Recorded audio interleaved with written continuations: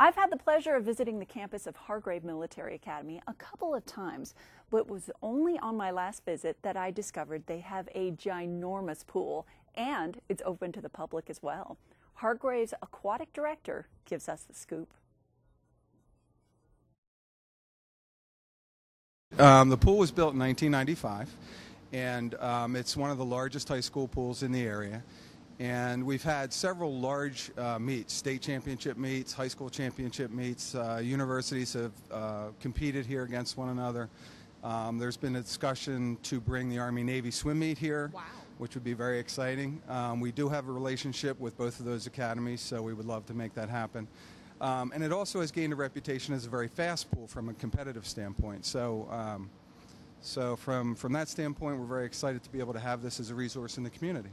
And it must be a resource in general, too, that's a nice way to relax after a long, hard day of school. Um, well, we don't really try to get the uh, cadets relaxed in the pool, actually. we, we, like to work them from a competitive standpoint. Uh-huh.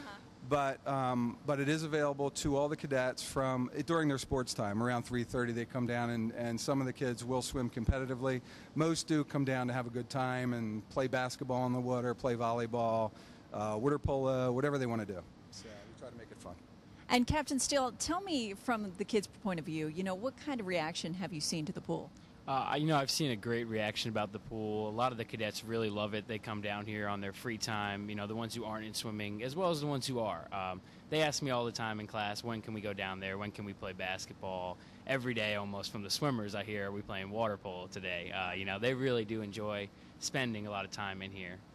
And training wise, you know, it must be exciting to see the differences in them and building up that strength.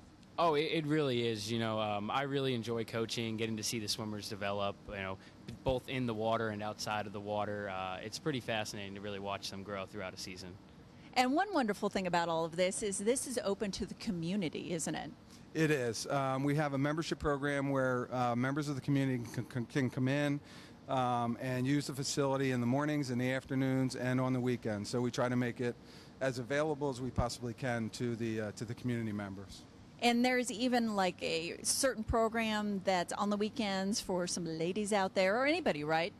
Um, yeah, we have uh, actually uh, about a half a dozen um, women from the community who come in in the afternoons and on the weekends to do a little water aerobics, mm-hmm. um, and they have a good time and they're um, they're a lot of fun. We also train triathletes. We have a lot of people from the area who are um, competing in triathlons and will come in and um, use the pool to compete for those um, for those events. So. So, if folks out there are interested in learning to, how to compete here or just to have a fun time, you know, what's the process like? Um, they can give us a call here at Hargrave, and we'll set up uh, a membership for them, and it's that simple. And in general, let's talk about Hargrave as an academy itself. You know, tell me a little bit about the school and the reputation here. Well, it is known as the premier military school in the country. Um, they do a fantastic job in educating young men, uh, focus on the whole person. Uh, the military aspect, of course, um, the academics is very, very important here, and then athletics is also very important. So um, we work very hard on those aspects, but spirituality is a big part of what goes on here at Hargrave. Uh, a beautiful chapel. Um, the, the, cadets uh, attend chapel on Tuesday mornings, and um, as does the staff. And um, again, we try to develop the whole person. I really, really wanted to go swimming after that. If you'd like to find out more about Hargrave's aquatic program, give them a call at 434 432 2681 and how you can be part of that pool. And to learn more about the school in general, Hargrave is having an open house this weekend, Saturday, March 16th at 1230. For more information, 1 800 432 2480 or go to hargrave.edu.